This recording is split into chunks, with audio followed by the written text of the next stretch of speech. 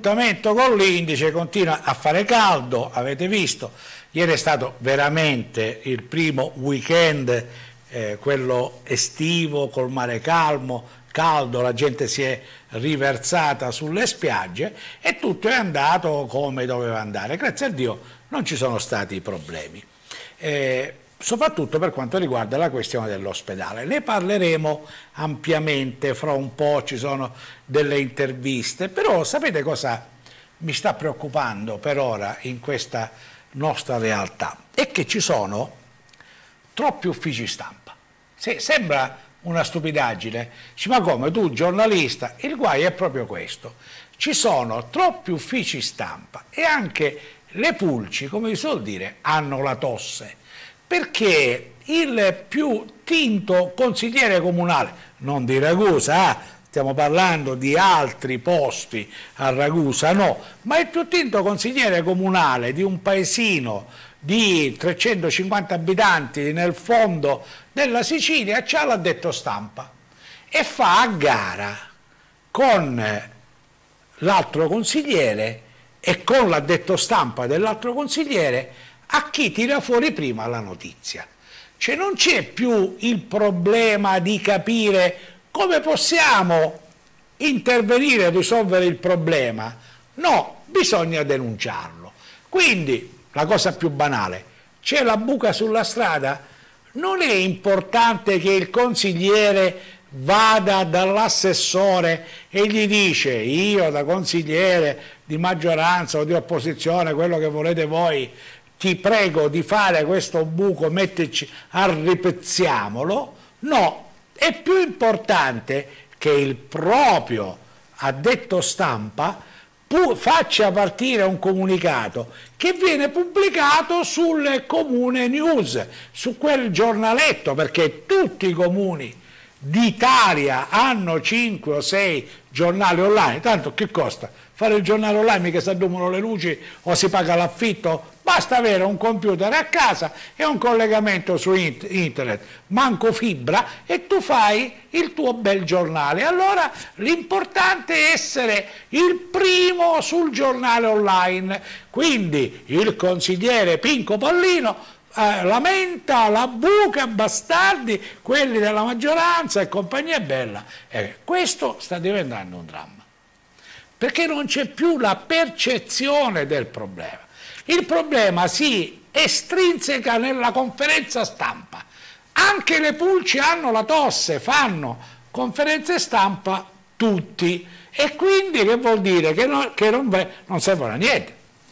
Perché una volta la conferenza stampa era momento, è come se il Presidente degli Stati Uniti, ricordate nei film c'è quella conferenza stampa, quello messo lì con tutti i giornalisti, se ne facesse tre al giorno, ma chi ci dovrebbe chiedere più? Allora, il problema è proprio questo. Io inviterei ad essere un po' più, come posso dire, più vicini alla terra e capire che ci sono dei problemi che si possono risolvere senza andare a fare la conferenza stampa o scrivere la lettera aperta perché sa che eh, il primo giornalista stupido che c'è in giro te la pubblica, senza metterci un, un niente. Cioè, ma il giornalista non deve andare a sindacare, no, il giornalista deve anche capire quali sono le cose giuste e le cose sbagliate. Dico questo perché parleremo ampiamente del problema dell'ospedale, perché oggi c'è stata la conferenza stampa all'impiedi in un eh, angolo dell'ospedale civile eh, di eh, Orazio Ragusa. Il guaio è che a Orazio Ragusa lo stavano pigliando a tombolate, cioè nel senso che c'era gente che diceva vergognatevi, andatevene, lo hanno visto, lo hanno riconosciuto. E su questa storia dell'ospedale non si può più eh, andare avanti con i comunicati stampa, CGL, Will e CISL, ah non ne possiamo più, che vergogna, tutte queste cose qua. La CGL, domani facciamo un'azione di protesta ma nessuno che faccia qualcosa di veramente tangibile. Ora io non è che sono un eroe, ma ve l'avevo detto che la, avrei fatto appena possibile una denuncia per eh, interruzione di pubblico servizio. Allora questa è la denuncia che io ho presentato questa mattina ci levo i miei dati essenziali perché sono, diciamo, tanto lo sanno tutti dove sono nato e compagnia bella, e io ho denunciato il fatto che a Ragusa non si possano fare alcune cose. Ora è comprensibile, un giorno o due succede una cosa, si blocca e eh, lo capiamo, ma non è comprensibile 21 giorni. Allora se per 21 giorni per esempio non funzionano le sale ospedaliere, le sale operatorie, come ha detto Aricò, delle interviste di venerdì, dice purtroppo non possiamo operare, li andiamo a portare a Modica per chi ha un problema e a Vittoria per chi ha un altro, ma questo è in regime di eccezionalità.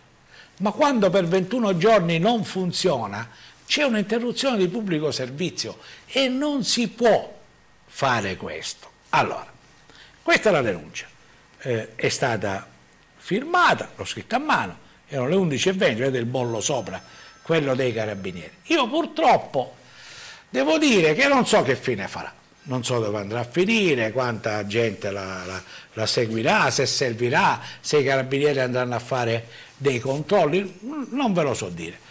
Però ho la coscienza a posto per avere fatto qualcosa. Non denuncio nessuno, anche se i colpevoli si potrebbero individuare, ma so che qualcuno non ha fatto il suo dovere.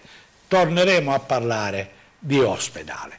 E invece andiamo avanti perché mentre a Ragusa c'era questo enorme problema dell'ospedale, il sindaco, ed è il sindaco di Ragusa, giustamente era a Palermo. Diceva a Palermo c'era una convention importantissima, perché c'era la presentazione del candidato alle elezioni regionali. Si sono fatte queste primarie, pensate che hanno votato in tutta la Sicilia, eh, c'erano 4.000 persone. Devo dire che Peppe Calabrese ne porta di più quando si fanno le primarie eh, a Ragusa, ma qui tutta la Sicilia 4.000 persone. Vedete il sindaco, ora io non voglio criticarlo, ma io se fossi stato il sindaco, oggi sarei stato, ieri, in unità di crisi in piena comune chiedendo a tutti quando si risolveva il problema. Lui giustamente era a Palermo per eh, assistere a questa, eh, a questa eh, come posso dire, a questa, eh, è, è, stato insignito della, della veste di cavaliere in difesa della Sicilia e quindi il sindaco era lì come esempio lungimirante del Movimento 5 Stelle e quindi ve lo immaginate cosa ci andranno a dare dopo, non se ne deve avere a male su questa vicenda, a parte due o tre eh, eh, incontri con il prefetto e con il sindaco e una conferenza stampa, non mi pare abbia fatto molto altro. E allora cosa è successo eh, a Palermo? A Palermo Grillo capisce che è, è un po' come la Ryanair quando ha voluto scardinare Catania, è partito da Comiso, no? È andato da Comiso, ci ha fatto vedere il sole, o meglio la luna del pozzo, e poi è andato a Catania e ci ha messo 18 voli eh, su Catania. Però prima è venuto da noi a prenderci per i fondelli e questo stanno facendo quello del Movimento 5 Stelle. Perché? Perché noi siamo la prima regione dove si vota e quindi dicono partiremo dalla Sicilia per scardinare l'Italia. Io ho preso un paio di minuti eh, di grillo, ve lo faccio sentire. E una parte è stata particolarmente bella, quando ha detto la Sicilia è il posto dei paradossi.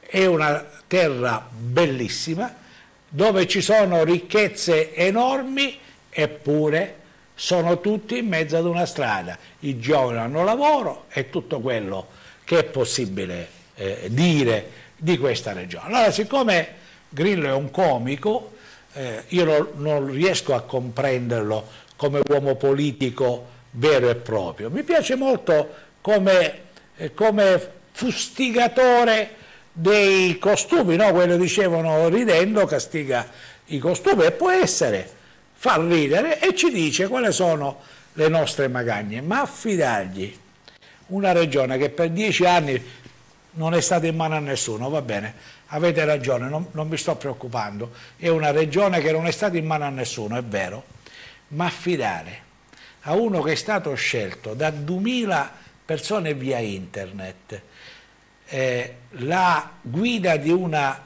regione perché eh, piaceva a Grillo, che lo aveva già indicato, già gli altri facevano finta di partecipare a queste primarie via internet.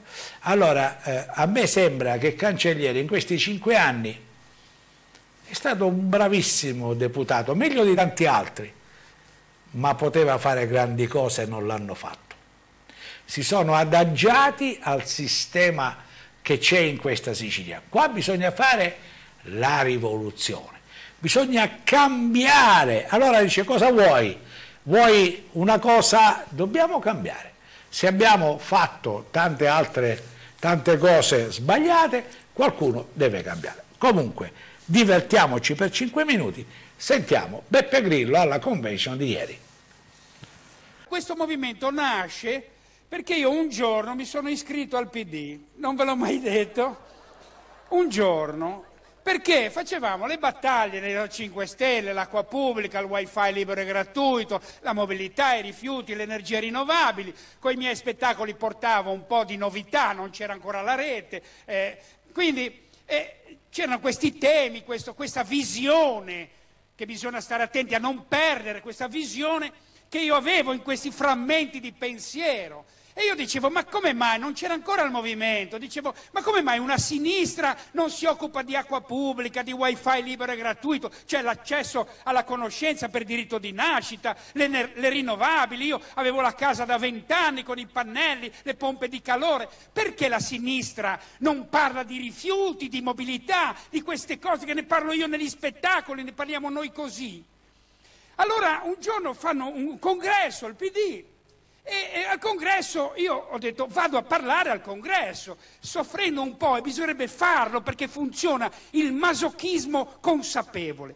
Perché adesso noi ce la raccontiamo qua, perché siamo da, tutti, tutti consenzienti, ma io allora ho detto voglio fare il masochista consapevole voglio andare al congresso del PD e raccontargli queste cose e dire prendetevele voi, io sono un comico e sono insieme a un manager che vorrei ricordare stasera che senza il papà di questo signore qua questa roba non ci sarebbe neanche stata, o perlomeno l'organizzazione. Allora, allora cosa faccio? Eh, leggo lo statuto del PD e c'è scritto che per andare al congresso devi essere tesserato nel PD. C'era solo quell'impedimento lì. Ero eh, eh, ad Arzachena e vado a iscrivermi alla, a una sede del PD di Arzachena. Arrivo nel paese, c'era chiuso, c'è il macellaio, c'era la chiave. Mi apre questa sede, c'erano due pensionati seduti dietro Certo, sono Grillo, vorrei iscrivermi al, al, al PD, ma ha detto prego, venga, si cusau, cusau, su cusau, e mi dà, eh, mi dà la tessera, io firmo, gli do 15 euro e divento iscritto al Partito Democratico.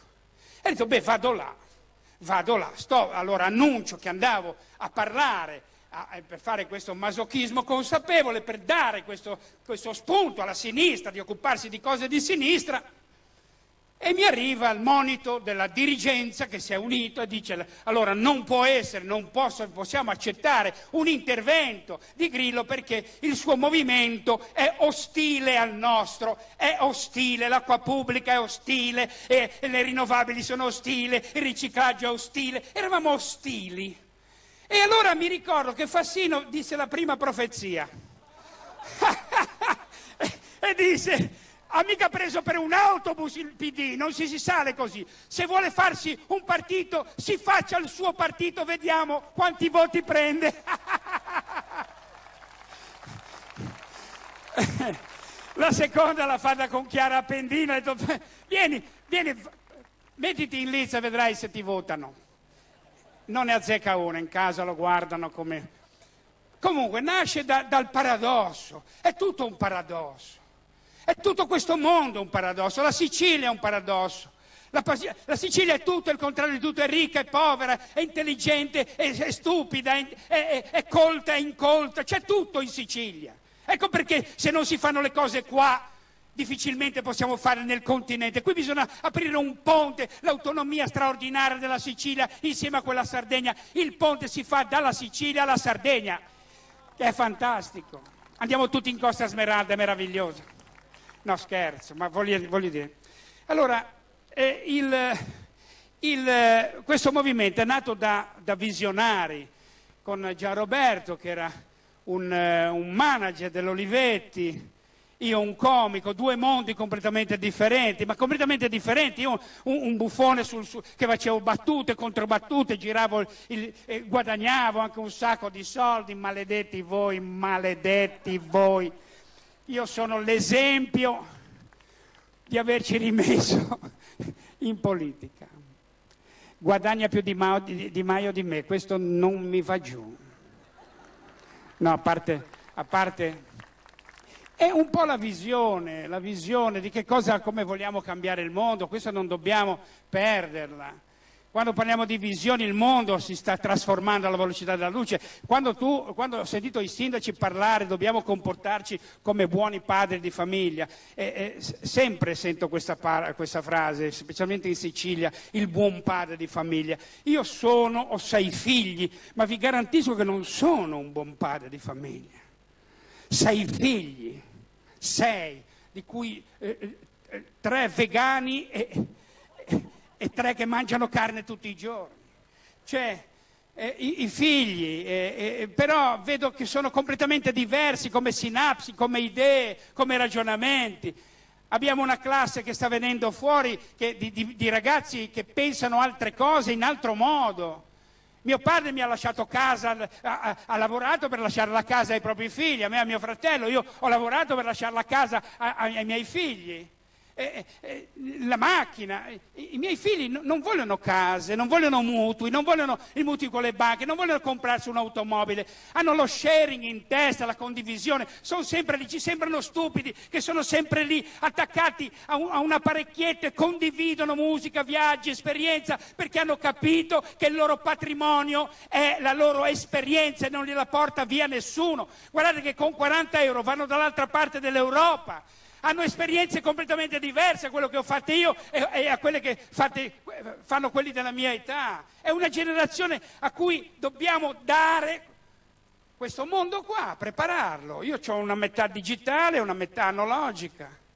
sono lì in mezzo.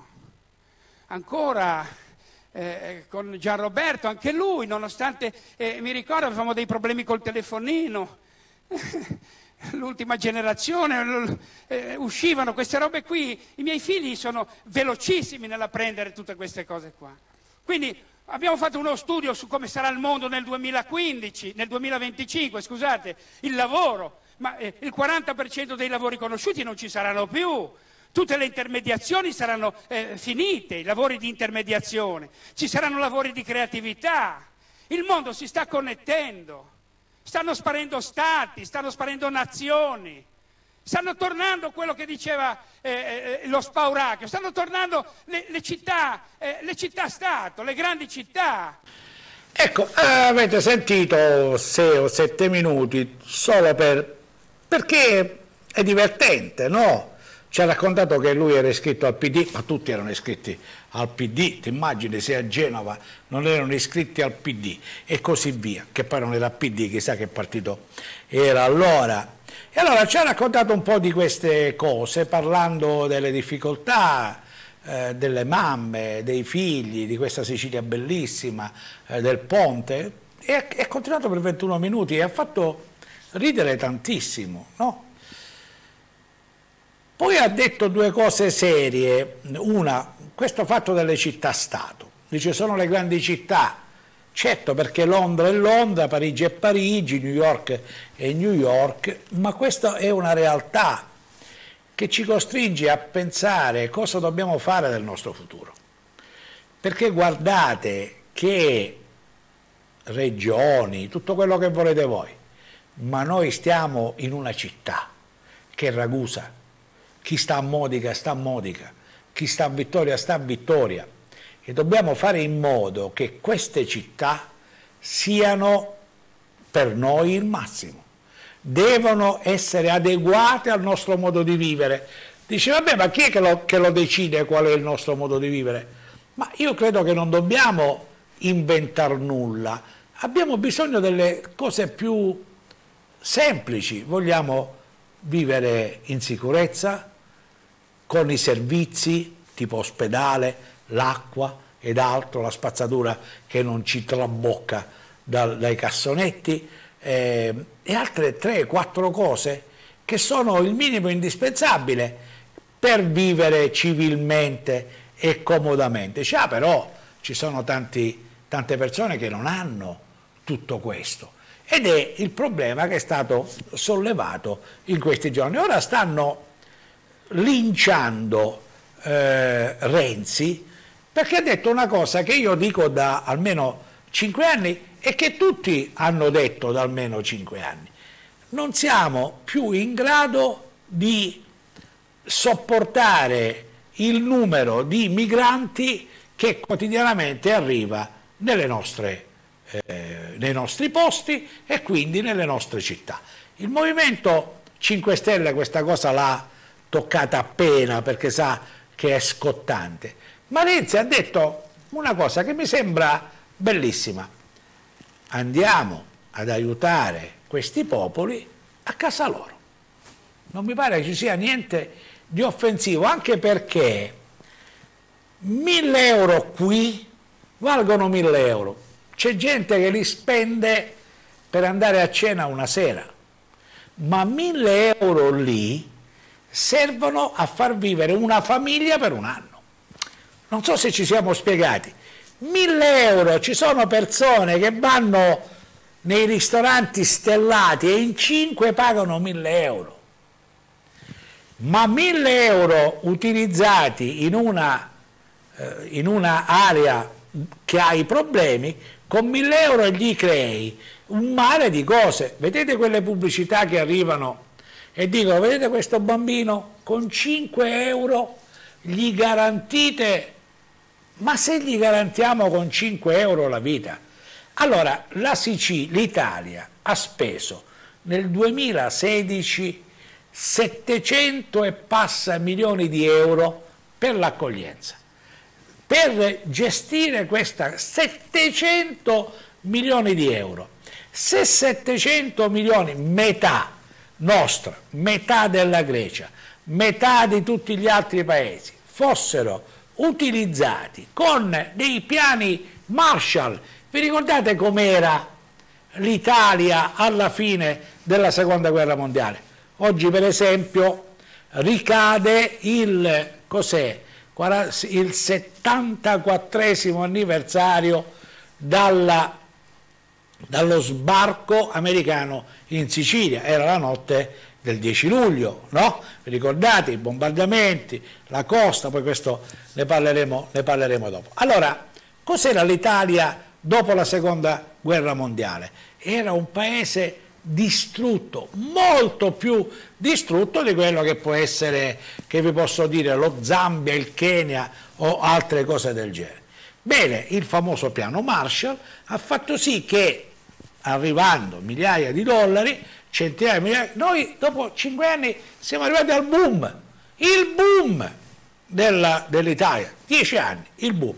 Ma perché sono stati fatti degli investimenti? Allora se noi spendiamo 760 milioni nel 2015, altrettanto nel 2016, quest'anno forse anche di più, le cifre sono enormi, per l'accoglienza, per Frontex, per le navi, se si decidesse, come ha detto Renzi, di spendere una parte di questi a 50 milioni da dare in ogni nazione, noi e gli altri, per lo sviluppo, per ricrescere, non avrebbero bisogno di venire qui. C'è uno, a me pare brutto, che dorme sotto un albero in una strada di Ragusa, sotto un albero, con un pagliericcio è estate, meno male, ma dorme lì. E certamente uno che ha problemi, non ha dove dormire, come, che, che c'è di... Era, era meglio questo che altro? E allora quello che ha detto Renzi dicendo aiutiamoli a casa loro non mi sembra assolutamente nulla di offensivo. E quindi, tornando indietro, noi abbiamo bisogno di qualcuno che governi questa Sicilia anche in questa ottica, perché siamo diventati un paese disastrato. Forse, forse ci devo dare qualche lira anche a noi. Vi faccio un esempio. Si sta parlando delle province, no? Di nuovo. Tutto quello che è strade, escluso forse un pezzo di autostrada, ma neanche quello, da noi è disastrato. Provate ad andare sulla Ragusa, Santa Croce, Malavita, l'erba è così. Vabbè, ma quello è in provincia di Ragusa.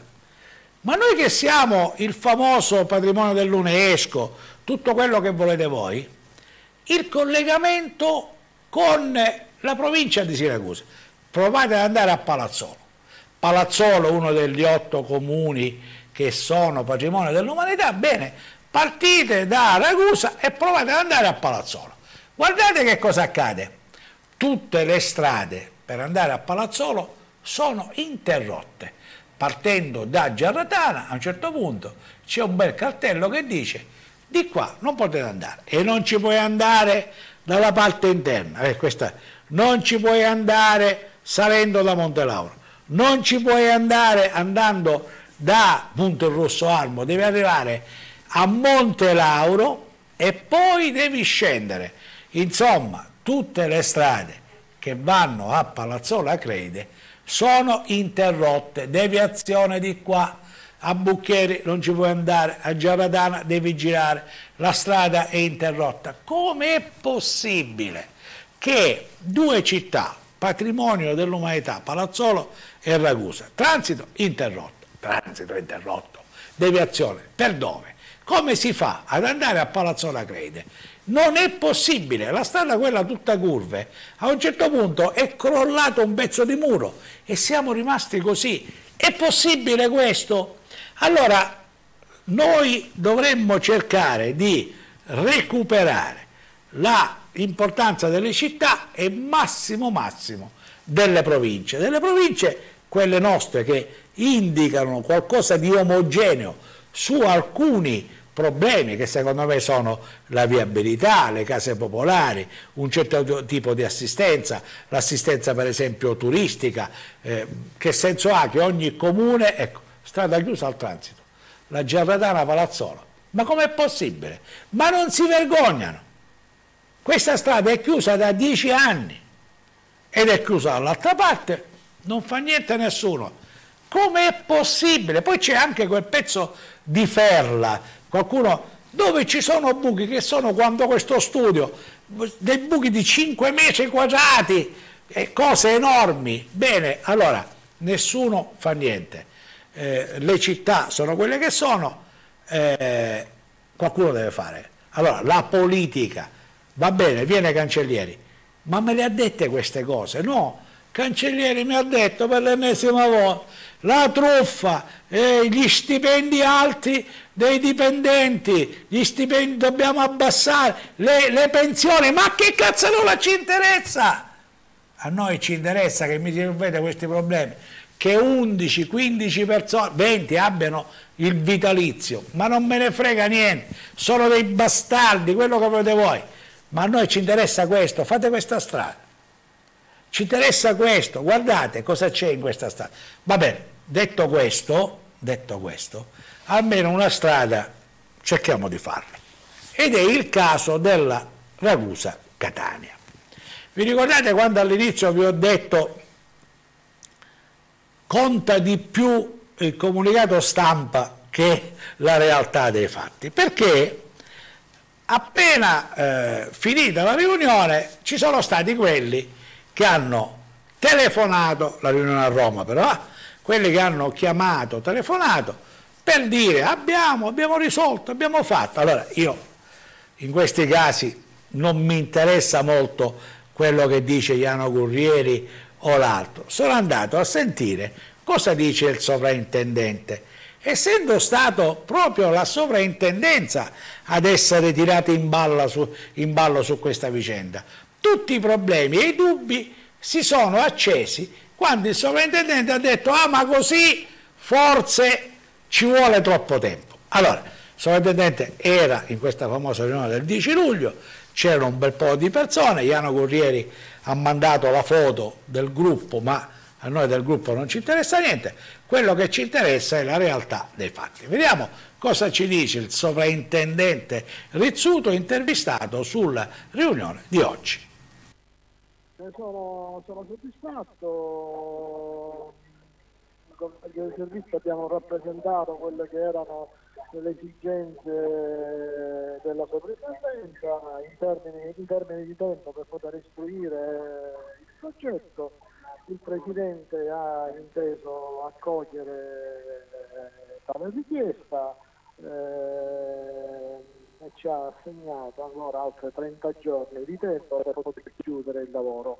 Eh, questo non va ad aumentare i tempi per l'approvazione del, del progetto perché questi 30 giorni già eh, il Presidente l'aveva per relazionare, fare la relazione finale e mandarla al CIPE.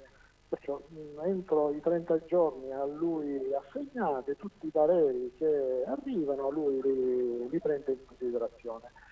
Noi dal, dal, dall'istruttoria già in fase avanzata eh, ci servivano tre settimane, perciò eh, siamo ampiamente eh, dentro i tempi assegnati. Sono ottimista, eh, già alcune problematiche relative... dubbi che c'erano stati prima sollevati ora vengono fugati. Stanno, vengono fugati perché c'è stato tutto un lavoro preparatorio in questo mese, non è che i dubbi eh, se ne vanno via da sole, abbiamo fatto un lavoro preparatorio, eh, si è fatto un sopralluogo nelle aree di tutela 3 boscate eh, con i tecnici del comando forestale, assieme ai tecnici della soprintendenza e tecnici della SARCI che è il concessionario, hanno accertato che quell'area non ha le caratteristiche, questo verbale l'ho trasmesso già nella giornata di, di giorno 6 eh, luglio al eh, Dipartimento Beni Culturali affinché esso possa fare poi gli atti conseguenziali che naturalmente mi devono, mi devono notificare da, da Palermo alla sovrintendenza. Questo vi permette di andare avanti. Eh, dal punto di vista archeologico si erano riscontrate alcune eh, criticità, però nel progetto che in questi giorni, nelle, nelle, nelle controproduzioni che la FAP ha fatto alla nostra nota del 5 luglio, questo, questa criticità eh, viene affrontata e risolta. Per quanto riguarda eh, i beni isolati, in questo mese di tempo i tecnici ci hanno mandato tutta una serie di sezioni sul tracciato che mettono in corrispondenza il bene isolato architettonico con l'autostrada e posso affermare che non ci sono eh, criticità rilevanti, c'è qualche cosina ma facilmente eh, risolvibile. Eh, l'unico problema ancora rimane per i beni paesaggistici, nel senso che già abbiamo, perché tutta la documentazione ci è arrivata due giorni fa, abbiamo iniziato a istruire il progetto, stiamo andando avanti e, e pensiamo di nell'arco di tre settimane avendo il, eh, il provvedimento eh, che deve fare il Dipartimento notificato alla sovrintendenza, possiamo determinarci con un parere sul progetto definitivo. Sono, sono ottimista. Questa è Teleiblea.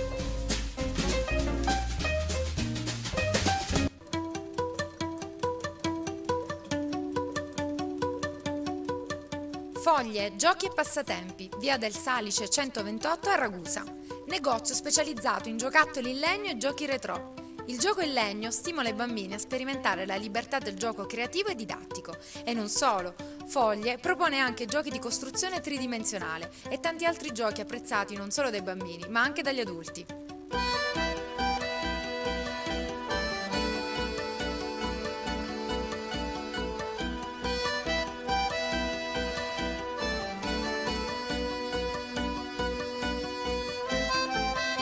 Gioco è il lavoro del bambino. Vieni a scoprirlo da Foglie, Giochi e Passatempi. Vi aspettiamo in via del Salice 128 a Ragusa.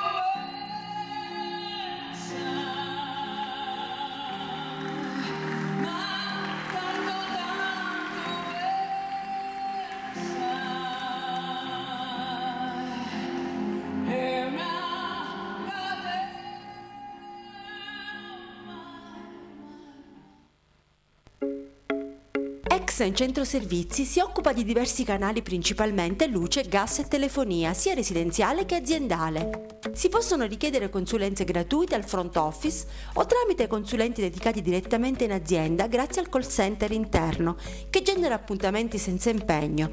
Inoltre dispone di un canale intermediazione con aziende privati per la ricerca e selezione del personale, un canale riguardante il segretariato a distanza e la possibilità di effettuare ricariche telefoniche e pagamenti bollettini. Exen si trova in piazza Mannantò 10 a Ragusa, visitate la nostra pagina aziendale su Facebook. Dunque, che vuol dire? Vuol dire che c'è un altro mese, questo mese non incide sui limiti che erano stati imposti prima, eh, il sovrintendente che aveva già, e lo ha detto, superato alcune difficoltà può tranquillamente chiudere questo lavoro.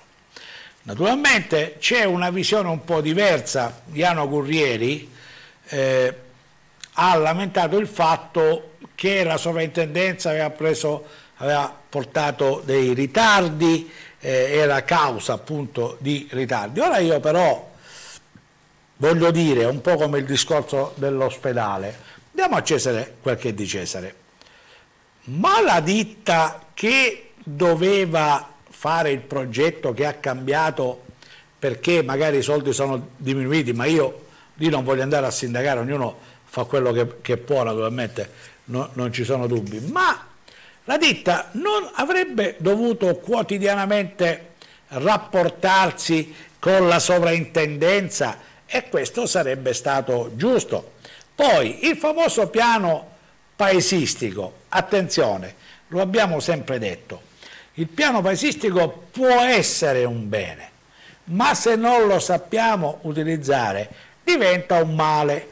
Io credo nella vicenda naturalistica, tutto quello che volete voi, il territorio, bellissimo qua là, ma se abbiamo un territorio che non viene curato, che non viene fruito, perché che, che mi lasci a fare un'area che diventa una foresta vergine e poi appena c'è uno che non sta attento fa una vampata e, e, e brucia tutto. Io dico che anche il piano paesistico deve essere una eh, idea forte ma che possa, come posso dire, rappresentare un'idea di sviluppo, un'idea di crescita, non un'idea in cui blocchiamo tutto, perché il mondo è fatto con qualcosa che si muove. Avete sentito come scherzava Grillo? I giapponesi, gli americani, quelli vanno avanti, ma consumano le riserve, consumate quello che volete, ma se oggi noi ci fermiamo, gli altri ne scappisano, non ci sono altre realtà. Dobbiamo essere al passo, però magari con un occhio più di riguardo al territorio, al consumo, eccetera, eccetera. Questo mi pare una cosa molto interessante. A questo punto diciamo che questa famosa autostrada forse in un mese, ora speriamo che non c'è l'estate, ma diciamo che a settembre, poi a settembre ci sono le elezioni, perché le elezioni sono il 5 di novembre, eh? quindi avete già visto è partito Cancellieri che è stato individuato, il centrodestra annaspa, ma sembra che eh, su, Musi, su Musumeci ci sia un coinvolgimento, poi c'è il PD, vabbè, il PD dovrà trovare certamente il suo, il suo candidato eh, a patto che non subisca poi un po' il ricatto di Crocetta. Io non voglio essere eh, uccello di malaugurio, ma mi sembra che con Crocetta abbiamo qualche difficoltà. È probabile che possa recuperare, abbiamo mandato l'altro ieri, avete visto quel filmato in cui ha detto la Sicilia ai siciliani, tutto quello che volete, però dobbiamo dargli una Sicilia buona, mica una Sicilia a pezzi. E torniamo alla vicenda ospedale. Proprio lì c'è l'errore, perché Presidente della Regione, Sindaco, Assessori, su questa vicenda avrei potuto fare blocco comune. E come ho sempre detto, a me non me ne frega niente chi è il colpevole per me il colpevole è uno solo, no? anzi la vittima è una sola, cioè l'assassino non lo conosciamo, sappiamo chi è morto. A proposito Di morto si dice che ci sia stato un morto oggi riconducibile a questa vicenda, ma anche venerdì eh, eh, scorso dovrebbe esserci stato un altro in qualche modo riconducibile. Vi ho parlato anche di Totò Stella, non c'entra niente con eh, Ragusa, ma Totò è stato costretto negli ultimi giorni della sua vita a essere ricoverato a Vittoria, lontano dalla famiglia, perché qui non c'era come fare. Allora dico, la vittima è uno solo, il cittadino ragusano. Intanto eh, apprezzo questo intervento dell'RSU, che sarebbe la rappresentanza sindacale unitaria, ed è l'unica testimonianza eh, nella quale uno può credere senza pensare agli asti, l'astio di primario e cose del genere. Dice il, il, tutto il sindacato, c'è stato l'assoluto rifiuto di accogliere suggerimenti e proposte sulla gestione di una delicata operazione come il trasferimento nei locali del nuovo ospedale. C'è stato il disinteresse per il contributo organizzativo dei veri professionisti del Servizio Sanitario Nazionale, impegnati quotidianamente sul campo, che hanno provocato tante disfunzioni dell'ultimo minuto cui gli operatori del comparto con grande senso di responsabilità e con il cuore hanno cercato di mitigare. Quindi, cosa dicono quelli del, del, della rappresentanza? Abbiamo chiamato i grandi professionisti e noi siamo stati costretti a mettere le pezze per mitigare, per ridurre i disagi, ma questo sforzo è stato vanificato da decisioni spesso incomprensibili, contraddittorie e ondivaghe. Allora, io a questo ci credo a quello che dicono qua il coordinatore Duilio Assennato, io ci credo, che magari abbiano detto ma vediamo una mano che siano stati non accettati i loro consigli, ci credo, no? Vabbè. Però siamo sempre lì, non vorrei che sia stato come le primarie, visto che non vuoi che ti aiuto, ti metti i bastoni fra le ruote perché alle primarie funziona così, le elezioni di Piccitto sono la dimostrazione. Siccome non siamo stati d'accordo, ora vi diamo tutte le difficoltà possibili e immaginabili. Spero che non sia stato così, cioè che la rappresentanza sindacale abbia detto non ci avete ascoltato e si è andata avanti. Spero che non sia stato perché qualche gola profonda ci deve essere stata qualcuno che gli ha detto qual era il motore che non funzionava o che mancava questa carta. Ci deve essere stato qualcuno che aveva accesso alle segrete cose. Non c'è dubbio. Qualcuno che sapeva dove erano le carte e dove mancavano le carte. Quello è. Allora, se questa gente, da una parte, chi è stato, gli dobbiamo dire se è un cittadino integerrimo, Dall'altra parte dobbiamo dire che sono 21 giorni che Ragusa non ha il servizio ospedaliero. 21 giorni, ringraziando sempre che le cose vadano bene. Oggi eh, l'onorevole eh, Orazio Ragusa, che devo dire Orazio è una bravissima persona, ma come gli altri ha il difetto dell'addetto stampa. No? Anche lui deve arrivare primo e quando si vede che non c'è in quella giornata, ecco che gli viene in testa a qualche deputato, ora facciamo una conferenza stampa. Siccome l'ha convocata alle 9.45 per le 11 meno un quarto, o per le 10 e sì, per 11 meno un quarto, è chiaro che eravamo solo quelli invitati, così da amici, dalla telefonata. Quando siamo arrivati al, all'ospedale civile, devo dire che eravamo 5 o 6 giornalisti messi in un angolo là vicino all'entrata principale del, del, dell'ospedale e eravamo anche diciamo eh, sotto scopa perché i eh, degenti, i parenti dei degenti hanno visto questo piccolo assembramento all'angolo eh, davanti all'ex entrata degli autisti del, del, del pronto soccorso e riconoscendo il deputato hanno incominciato a fare come si fa sempre nell'antipolitica, e vergogna e controvergogna, e voi e qui e là gliel'hanno detto di tutti i colori. Per cui alla fine Orazio Ragusa ha anche preferito andare via per non dare poi adito a, a chissà quali eh, conseguenze. Allora noi siamo riusciti a fare un'intervista molto breve, un'intervista di qualche eh, di un minuto e mezzo, anche perché poi eh, l'aria si era riscaldata troppo. Sentiamo.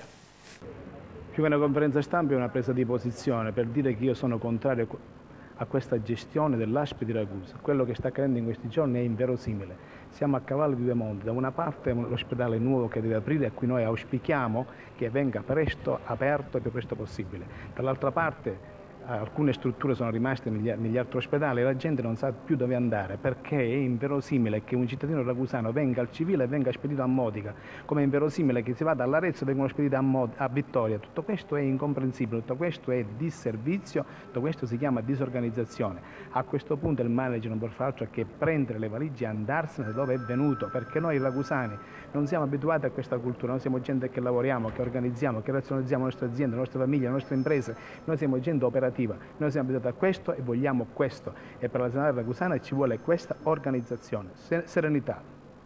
Oggi c'è come dire, malumore tra i cittadini ragusani, c'è il malumore tra i medici, tra gli infermieri, c'è un malumore generale a cui bisogna porre fine subito, prima che la questione degeneri, perché eh, stamattina è passata qui tantissima gente che ha protestato verbalmente indicando responsabilità alla politica dove la politica non ha nessuna responsabilità, la responsabilità è organizzativa e di gestione del manager.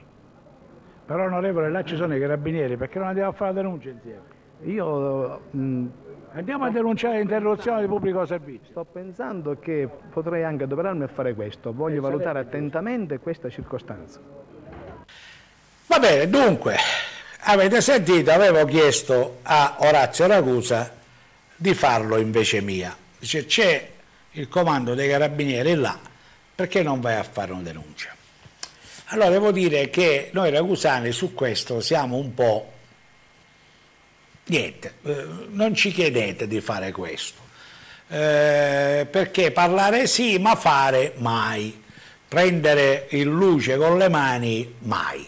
Anche i nostri deputati ormai hanno imparato che si può gettare voci, poi quando si tratta di prendere posizioni meglio tenerle molto soft perché non si sa mai nella vita, meglio poi si può recuperare, poi ne stringiamo le mani, facciamo amicizia, quando invece uno va con le carte scritte succedono guai che non possono essere eh, calcolati. Allora a questo punto, a questo punto eh, cosa è successo? Questa è la denuncia che ho presentato io, c'è un altro giallo eh, che è quello che riguarda Arico. Ora eh, avete visto Orazio Ragusa dice se ne deve andare, i sindacati dicono se ne devono andare, ma è chiaro, tutti i sindacati ce l'avevano con Arico prima, tutti dal piano aziendale, perché lui dice che si comportava con eh, strafottenza, era arrogante, quindi vi immaginate se in una situazione del genere potesse esserci una parola positiva in favore di Arico. Io credo e insisto nel dire, siamo per ora senza ospedale, qualcuno deve fare qualcosa, non lo so, se fossi un'organizzazione che ha dei tecnici dell'aria condizionata, io metterei a disposizione i miei tecnici e li manderei in task force dove c'è il motore dell'aria condizionata per farglielo aggiustare. Se fossi il responsabile di un uh, ufficio di ingegneri e mi hanno detto che la scia non è preciso, ci mettesse a disposizione tutti i miei ingegneri per risolvere la scia. Cioè, quando uno vede che sta crollando il muro, mettersi di lato per vedere come cade non è una bella cosa. Bisogna fare in modo che non cada. Quindi piuttosto che aspettare che Arrigo si fa male, che qualche granata si fa male, che il drago si fa male e tutti gli altri, piuttosto di questo io vorrei che qualcuno prendesse in mano questa situazione, a iniziare dal sindaco, che domenica appunto era ad applaudire Grillo, ci mancherebbe altro. A, a, Palermo uno ne hanno sindaco buono, no? secondo loro, che è appunto il sindaco di Ragusa, gli altri manca a parlarne e di conseguenza era chiaro dovesse andare lì. Ma allora doveva, come ho detto io, creare un'unità di crisi e metterla in funzione dal primo momento. Questo non è stato fatto, io ho fatto una denuncia, chiedo scusa se qualcuno se la prende, ma io non trovo altre soluzioni in questo momento. Detto questo andiamo a chiudere, andiamo a chiudere, andiamo a, eh, parliamo di altre cose. Allora, intanto ci sono eh, delle realtà che devono essere eh, evidenziate ci sono le lamentele a Vittoria per quanto riguarda la spazzatura, c'è un problema che riguarda la ditta che fa la raccolta della spazzatura a Vittoria e naturalmente ci sono moltissime lamentele e si torna a parlare di connivenze a Vittoria. Noi, come voi sapete, stiamo aspettando, appena il buon Lo Monaco ce lo permetterà, eh, andremo a ritrasmettere nuovamente sulla zona di Vittoria. È così che vi devo dire, eh, riapriremo la nostra area appena appunto avremo questa possibilità dal punto di vista eh, tecnico perché dipendiamo ora soltanto dai tecnici, quindi tutte le altre cose eh, su Vittoria le seguiremo dopo. Invece ci sono alcune cose che sono abbastanza positive. Intanto la prima è quella del centro storico eh, di Ragusa, Ibla, eh, anche se c'è un'area un po' particolare perché incredibilmente questo trend positivo del turismo cammina a flussi, a fasi alterne. Ci sono dei weekend particolarmente ricchi, ci sono degli altri weekend dove invece eh, c'è un, un, una presenza minima di, di, persone. Quello che invece serve in un'area come Ragusa Ibla è proprio la possibilità di far vivere il centro storico anche per esempio con la forza universitaria. Quando l'altro ieri abbiamo, fatto, abbiamo parlato della, delle attività estive eh, qui a Ragusa organizzate dalla cattedrale, eh, c'era anche il professore Burgio che è il preside della facoltà di lingue che c'è a Ragusa Ibra, facoltà di lingue. Bene, c'è una novità positiva perché eh, in pratica eh, l'università cresce, nonostante le difficoltà, nonostante i problemi, l'università cresce. E quindi c'è quest'anno, quest'anno, in questa nuova, eh, questo 2017-2018, c'è la possibilità di avere più studenti. Vediamo.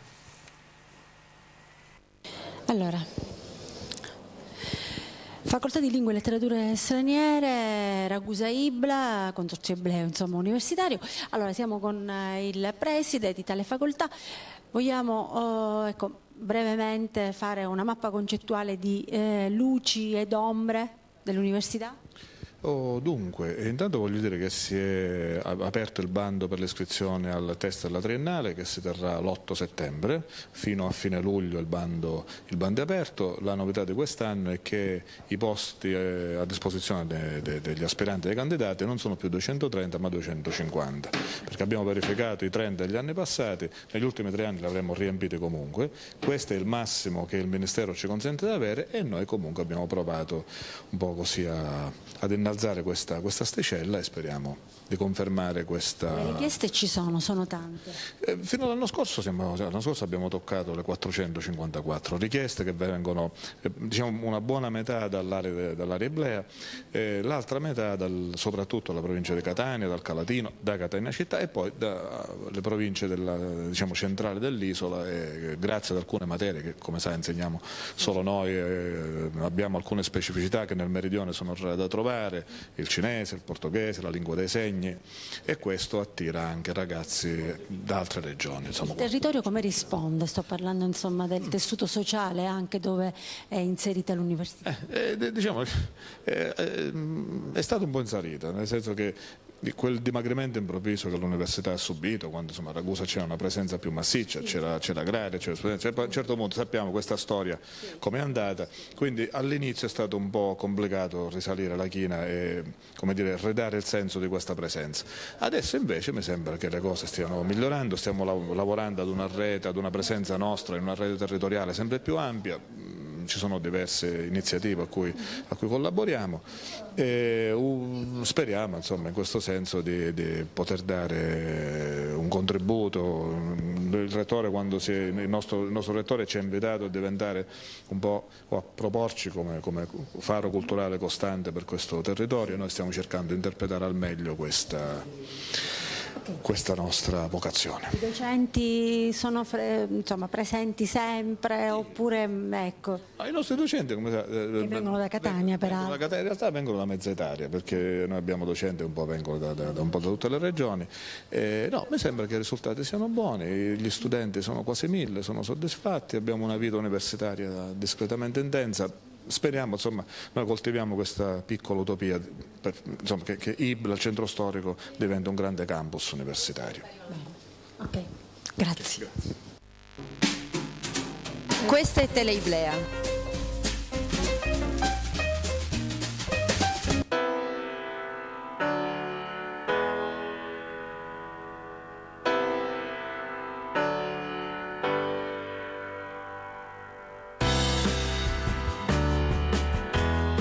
Nuove dall'usato. Continua ancora per pochi giorni la promozione del gruppo Scar di Ragusa sulle vetture usate, aziendali e non. È il momento di cambiare. Alla Scar di Ragusa troverai auto di tutte le marche, selezionate e garantite, a prezzi convenienti e facilitati. Visita il nostro reparto usato dove ogni auto riporta la data di immatricolazione, i chilometri percorsi e la garanzia offerta.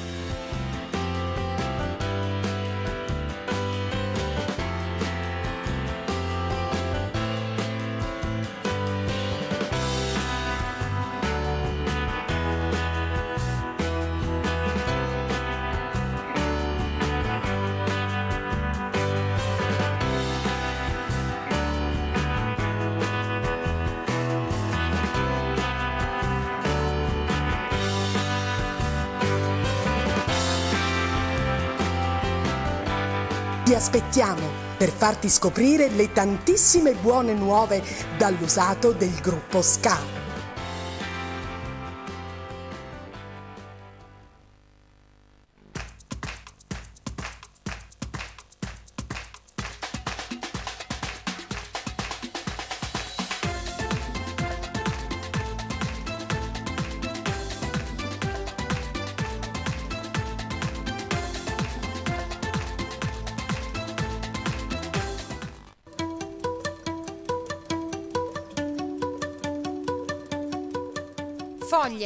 Passatempi, via del Salice 128 a Ragusa. Negozio specializzato in giocattoli in legno e giochi retro. Il gioco in legno stimola i bambini a sperimentare la libertà del gioco creativo e didattico. E non solo, Foglie propone anche giochi di costruzione tridimensionale e tanti altri giochi apprezzati non solo dai bambini, ma anche dagli adulti.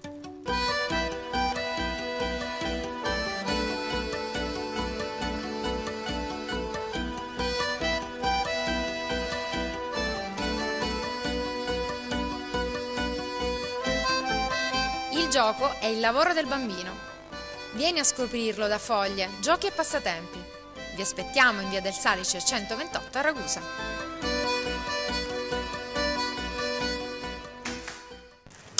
Benissimo, a questo punto è una sfida per l'Università di Ragusa, molto bene. Chiudiamo il nostro telegiornale, vi rimanderemo in onda un'intervista che ha fatto Gianni Papa con la simpatica Federica Bisegna, che, eh, ci, perché quei giorni non abbiamo trasmesso, eh, avevamo delle difficoltà, quindi probabilmente quell'intervista non l'hanno vista in molti, la rimandiamo in onda. Vi ricordo che martedì sera alle 21 Appoggio del Sole nell'auditorium, nel, nell'anfiteatro, ci sarà lo spettacolo di Iskra Menarini. Sarebbe la cantante che ha accompagnato per tutta la vita Lucio Dalla nelle sue eh, canzoni, quindi canterà molte canzoni di Lucio Dalla. E quindi è una cosa bellissima, i biglietti fino a domani a, me, a, a mezzogiorno, diciamo la mattinata, potranno essere acquistati presso l'Erea Turze, costano 15 euro, se no poi eh, al botteghino sono disponibili. Vi ricordo il viaggio in Russia della Erea Tours, quello eh, in Piemonte è chiuso, e è, eh, la data era proprio l'11 di, di, luglio, non ci sono più eh, le opzioni, quindi non possiamo fare più niente, partono da Palermo, fanno, noi da qui della Ragusa non possiamo mettere altri. Vi ricordo però che dal 26 agosto al 2 eh, di settembre eh, c'è questo viaggio, come ogni anno, organizzato dalla Rea Turze eh, per la Russia, va bene? Russia vuol dire San Pietroburgo e Mosca, con volo all'Italia, eh, hotel 4 stelle centrali e tutto quello che è sempre eh, diciamo, eh, contenuto. Potete andare a vedere sul sito www.reaturze.it o .com, pare che eh, là tutto il programma, quindi potete vedere tutto il programma, ma noi vi lasciamo, dopo questa intervista, con eh, qualche minuto di immagini e musica con la scritta che vi ricorda le date. Allora, eh, poi nei prossimi giorni parleremo perché anche qui abbiamo una decina di giorni per poter prenotare, ma vi assicuro che è un viaggio di una bellezza incredibile. Mosca e San Pietroburgo sono le, la quintessenza della Russia, ci sono tantissime belle città, ma Mosca e San Pietroburgo sono straordinarie. Guardate i colori, bellissimi. Allora, vediamo ora eh, questa intervista di Gianni Papa, dopo manderemo in onda questa idea della Russia con musica e sottotitoli. Grazie amici per la cortese attenzione, ci vediamo con le prossime edizioni. Ciao a tutti.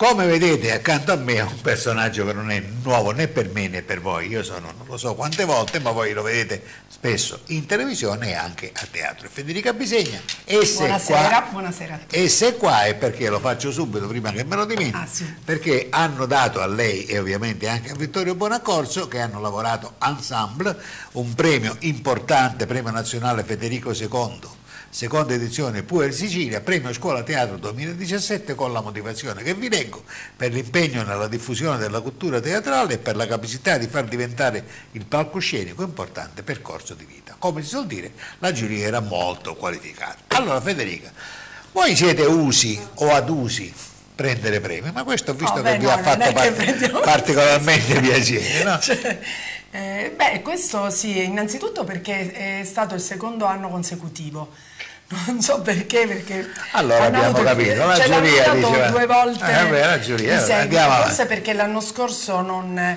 non siamo potuti andare a ritirarlo di persona, poi ce l'hanno fatto avere chiaramente in seguito e quest'anno a sorpresa mi piace questa data il prossimo concorso letterario che faccio faccio così mi prego non ci e vado così te lo continuano a dare finché ah, non vai a prenderlo bravo, bello, non lo bello, so bello, bello. però ecco è stata una bella sorpresa prima di tutto perché non conoscevamo nessuno degli organizzatori può sembrare una cosa banale è l'unico modo in cui il premio fa davvero piacere no? Sì. cioè credo che abbia un, un valore aggiunto certo. perché ti arriva veramente all'improvviso ed è un'autentica bella sorpresa L'anno scorso quando ci hanno chiamato, tra l'altro la serata di premiazione si svolge a Pedara, proprio sotto l'Etna, questo paesino devo dire delizioso, E cioè noi non, veramente eravamo proprio così sorpresi perché tra l'altro insieme anche a nomi diciamo più legati alla cultura eh, di quella parte di Sicilia, di Catania oppure di Palermo.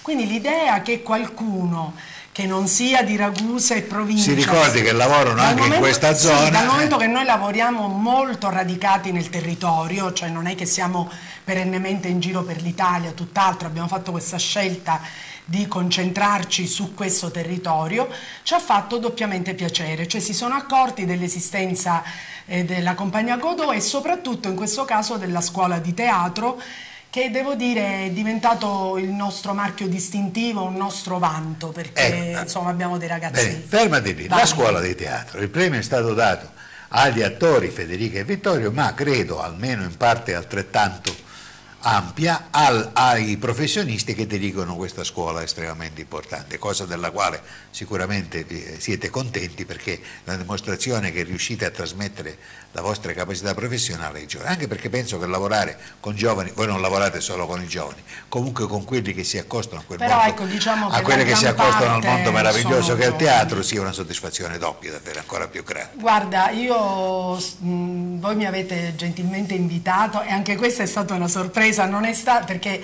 eh, il più delle volte ci mettiamo d'accordo, insomma lo diciamo apertamente, facciamo tutto alla luce del sole perché magari stiamo promuovendo uno spettacolo, la stagione. In questo caso invece gentilmente sei stato proprio tu a, a chiamarmi per venire a parlare di, questa, di questo piccolo nostro orgoglio e io vengo proprio da una prova dove ho appena finito di parlare con i ragazzi, eh, insomma con quelli che hanno deciso di lavorare duramente, molto duramente, anche in estate, e parlavo di questo, cioè non ci interessa solo insegnar loro a recitare bene. Questo Che è comunque importante. è importante, è il nostro, è il nostro- noi abbiamo lavorato tantissimo per quasi vent'anni quando poi ab- abbiamo deciso di confrontarci anche con l'insegnamento, con il laboratorio, perché sentivamo eh, il piacere, la vocazione, l'urgenza, la necessità di trasmettere qualcosa della nostra esperienza da attori. Il nostro è un laboratorio, qua loro hanno messo scuola di teatro, ma noi continuiamo a chiamarci semplicemente laboratorio. Che è una cosa degnissima, eh, non è Sì, una demenuzia. perché riteniamo che comunque abbiamo una sede che insomma è una piccola sala prove e siamo in due eh, che da soli portiamo avanti tutto il lavoro, tutte le ore, tutti i corsi. Quindi noi riteniamo che sia più giusta questa connotazione del laboratorio. Però ecco, non è solo l'insegnare a fare teatro tecnicamente, quello che cerchiamo di fare mh, nel nostro piccolo, anche insomma, naturalmente con, un- con umiltà, con umiltà assolutamente prima di tutto, è eh, far nascere in questi ragazzi degli interrogativi, eh, dei bisogni, fa- far sì che questi giovani possano andare nel profondo di loro stessi, possano cercare loro stessi, possano eh, cercare la loro anima e cercare di tirar fuori eh, tutto quello che di più autentico c'è in loro, senza necessariamente appiattirsi ed omologarsi nella società che li circonda, che non è delle migliori. Allora, Perché lo dico subito, io credo che il periodo storico Eh, eh, dove questi ragazzi devono portare oscuro, avanti la loro abbastanza oscuro, diciamo così. Non è dei migliori. Io mi ritengo di credo di essere stata più fortunata. Allora, voi cercate, se ho capito bene, di perfondere, di trasfondere nelle vene di questi ragazzi, ripeto, non solo, ma in gran parte ragazzi, quello che è l'essenza più vera, il significato più profondo del teatro. no? Del teatro inteso non nel senso di teatro che della ma proprio di quello che il teatro vuole dire. E io credo che il teatro sia un modo innanzitutto di crescere, che è la cosa Sì, più importante. Esattamente. Cioè crescere, porsi delle domande, perché attraverso i personaggi, attraverso i grandi autori, le grandi parole che eh, ora noi ci stiamo misurando con lo straordinario Pirandello, Ora ne parliamo po'. attraverso questi grandi autori, questi grandi pensieri, queste grandi opere, ma anche quando ci confrontiamo con una scrittura più leggera, una scrittura originale, ogni tanto anch'io mi sono cimentata a scrivere, attraverso tutto questo l'essere umano conosce più se stesso, impara a, a, stare con gli altri, a confrontarsi con gli altri, a capire di più gli altri, il mondo che lo circonda, si fa delle domande, non assorbe tutto passivamente eh, così eh, senza, eh, senza, cercare di andare E secondo te riesce a darsi anche qualche risposta? Ahimè, le risposte sono sempre poco, io qua in questo no, godò no. non a caso, sono un po' becchettiana però magari una risposta per quel momento, eh, anche se poi quella risposta cambierà. Comunque è importante già che uno tenti di darsene. Sì, ecco, qualche risposta, qualche, qualche momento di, di eh, come posso dire, di amore autentico per qualcosa, per qualcuno. Il teatro riesce a smuovere quello che di più bello c'è dentro di noi il teatro che noi cerchiamo di fare, perché se poi parliamo del mondo dello spettacolo in genere o del teatro a certi livelli, ti assicuro che non è così. Infatti alcuni dei nostri allievi che hanno iniziato a misurarsi con l'esterno, no? hanno fatto la scelta di andare eh, fuori a Roma, a Milano, hanno fatto delle esperienze anche non tutte belle, delle esperienze dove hanno capito ma il teatro è così, ma allora io voglio tornare a casa, perché noi con voi non abbiamo mai vissuto cose di questo genere, però noi li abbiamo sempre informati. Devono sapere che, che, si troveranno a confrontarsi ah, con noi cose. Noi siamo durissimi Bene. e cattivissimi Perfetto. in questo. Però... Allora, dicevo, in questo vostro ricomplimentate, ve lo faccio rivedere un altro attimo per il premio. Eh, non è l'Oscar. Che molto, non è l'Oscar. Neanche il premio Ubu. Ma si difende. Eh, veniamo, diciamo, in questa seconda parte della chiacchierata due cose. Uno poi alla fine parleremo dei programmi immediati, ma voi avete sempre, e questo credo molto intelligentemente, più che supportato direi integrato questo discorso vostro del teatro con alcuni grossi nomi che vengono a portare la loro arte, la loro professionalità e soprattutto fanno vedere come possiamo dire una cartina di tornasole di come quello che voi cercate di fare corrisponde a quelli che sono i dettagli sì. giusti perché sì, è, è logico che uno anche qualunque fisico sì. penso che se avesse... Ti metti in discussione, eh, accetti il confronto allora, con il rischio che L'anno scorso io ne ho seguito uno che poi è stato semplicemente straordinario sì, non a caso. greche, ma Siracusa che è stato Massimo Venturiello, ma ce ne sono stati tanti altri. A proposito di Massimo Venturiello, poi sapete grande attore di cinema, di teatro, di televisione. Doppiatore eccezionale. Doppiatore, e tra l'altro cosa che non guasta mai anche persone estremamente sì, disponibili e cortesi, assolutamente cosa, estrema, cosa estremamente importante, so che fra non molto lo avrete, questa volta voi l'avrete sì. e lo avremo noi perché lo avrete voi inserito nella vostra proposta, quando e dove? Noi con Massimo Venturiello veramente è una cosa del tutto inaspettata, improvvisa, perché ci siamo messi d'accordo da due o tre giorni e non speravamo di trovarlo libero e disponibile, ci siamo così voluti giocare questa carta e lo avremo ehm, con un cameo prestigiosissimo all'interno della nostra Pirandelliana che eh, faremo il 29 e 30 luglio alle 21.30 e il martedì 1 agosto, sempre alle 21.30, sulla splendida scalinata del castello di Donna Fugata dove l'anno scorso abbiamo fatto una piccola stagione di tre appuntamenti dove che ho visto una mi sono divertito moltissimo. Il Gran Varietà ma abbiamo fatto anche storia di Medea e una shakespeariana e devo dire che il successo è stato bellissimo. Abbiamo sperimentato eh, di, appunto questa novità di fare lo spettacolo sulla scalinata, quindi andando su e giù sulle scale senza nessuna, eh, nessun orpello, senza nessun palcoscenico. Il pubblico mh, veramente è stato eh, entusiasta e noi abbiamo fatto sei serate tutte pienissime Quest'anno abbiamo voluto dare qualche cosa di più a questo In occasione del 150esimo. Perché è un'occasione importante, 150 anni della nascita di Pirandello, Pirandello è il più grande autore drammaturgo italiano, credo che insieme a Edoardo siano i due baluardi. Credo che dire italiano sia molto limitativo, sono Assolutamente, mondiali. Pirandello è mondiale, europeo, vengono eh, come Edoardo, come Verga, vengono rappresentati in tutti i paesi E eh, abbiamo detto sarebbe bello se in questa carrellata di personaggi ci fosse una proposta anche di Massimo Venturiello. E Massimo Venturiello, E Massimo Venturiello interrogato al riguardo. ho mandato prima un messaggino su Whatsapp, ma per caso fine luglio Ti capiterebbe di... e lui mi ha detto Federica, sai che in quel periodo sono libero, chiamatemi a più presto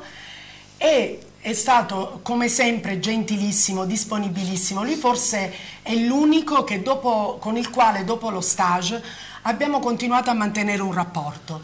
Ha incontrato alcuni dei nostri allievi a Roma, si trovavano lì e lui li ha, li ha voluti incontrare, li ha ospitati a casa sua. Loro hanno conosciuto anche Tosca per Che dei una, consigli. che è una attrice e cantante Bravissima, bravissima. sono una coppia su- veramente eccezionale. Hanno fatto spettacoli straordinari, uno dei suoi spettacoli, eh, credo, mh, eh, La strada o quello su Chaplin è stato il miglior spettacolo teatrale poi, dell'anno. Qualche mese Eh, fa a, a. Domenica Inn fece una Sì, parte di quello... Barberia, che è quello con cui ha lavorato con i nostri ragazzi. Assolutamente superbo, non È c'è un- altro. adesso io sono andata a Catania a vedere il suo profumo di donna, veramente da brividi. Fa- Perché lui fa l'ufficiale fa, sì, e mi, e Ruolo di Gassman e di Al Pacino. E io sono più affezionata con tutto che adoro Al Pacino come tutti, ma Beh, sono sì. affezionata al profumo di donna di Gassman. Perché era, perché era quello di Gasman era, era più europeo, no, non lo so, era più nostro. E Ecco. Venturiello in certi momenti veramente ricorda il grande Gasman, cioè lui è un attore che si mette al servizio del personaggio con una umanità, una professionalità eh, veramente straordinarie. Ha creato la prima cosa per telefono, ci ha chiesto dai nostri ragazzi, ma ci sono? Ha voluto sapere chi c'era, chi non c'era. Anita non ci sarà perché Anita eh, insomma, adesso è a Londra, poi andrà a New York. Eh, Giulia è impegnata a Milano. Ah, mi dispiace, però Luca, Giuseppe, eh, Gaia e Federica, Lorenzo, Beh. e ce ne saranno di nuovi.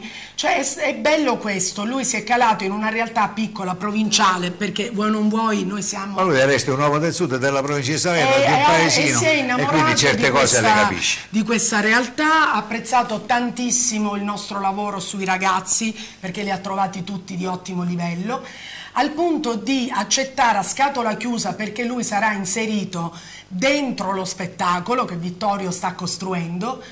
E lui ha detto lavorate in tutta tranquillità, io ho fiducia in voi, farete una cosa bella e abbiamo scelto, io non l'anticipo adesso, abbiamo scelto il personaggio, Perfetto. eh, insomma le Eh, cose io che qua ti farà. fermo perché vedi quel coso che lampeggia là sotto, siamo oltre sì, i 14 Va minuti. bene, va bene, allora, Allora, però, insomma, diciamo siamo- solo che ci sarà. Siamo contenti. 30, 31 e 29, no. 30 luglio e 1 agosto. E poi I biglietti quindi- da Bedamaggi, eh, insomma il patrocinio del comune, adesso capiremo meglio in che termini il comune potrà intervenire dopo il bilancio, ci ha promesso un aiuto perché poi noi faremo un altro spettacolo, sempre Pirandello, dopo Ferragosto. E insomma è un, è un filo perché il nostro progetto sarebbe di creare un legame, lui ha una scuola importante a Roma che è l'Officina Pasolini e stiamo ragionando di come iniziare a far lavorare, di fare, collaborare rete, queste due di fare rete anche Sì, in questo campo. sì, Benissimo. Allora, prima che, che ci tiriamo tutto l'indice solo No, noi, no, no, no, e già abbi- abbiamo fatto, manco io, io abbiamo fatto già quasi un quarto d'ora, ricordo che abbiamo avuto il piacere qua eh, Federica che per lei e per Vittorio Bonaccorso ehm, è venuto a parlare di questo meritatissimo, se mi posso permettere di dirlo, premio Grazie. Fede- nazionale. Federico II, di questo suo programma qua, eh, questa pirandelliana che li vedrà sugli- sulle scale del castello di Donna Fugata e credemi al di là di tutto del problema di attori c'è il fatto di riuscire a non cadere è una cosa tutt'altro che semplice ne sanno qualcosa di indossatrici io di sfilate ne ho viste in vita mia non al castello ma tante vi assicuro che è complicato e per il resto non possiamo fare altro che arrivati alla 150esima intervista comune a 200 lo sai che Eh beh, sca- 150 anni di Ah, Pirandello, esatto, sì, 150 eh, fra poco scatta il bonus e tutt'altro e ringraziare Federica, ringraziare Vittorio per il lavoro che fanno e complimentarsi da ragusani ed appassionati di teatro per Anche perché insomma la maggior parte di tutto quello che abbiamo fatto l'abbiamo fatto sempre senza finanziamenti. benissimo questa, E questo non è un è, una, è un leitmotiv che non dimentica mai e sicuramente ha No, ragione però ci tengo No, vabbè, perché vabbè. Detto questo, Importante. ringraziamo Federica e ci diamo appuntamento, ci diamo, non lo diamo, ci a- andarli a vedere insieme con Massimo Venturello, che credetemi vale davvero la pena, a eh, Donna Focata. Grazie, Grazie Federica e ti aspettiamo per il prossimo premio. Grazie. Vi salutiamo.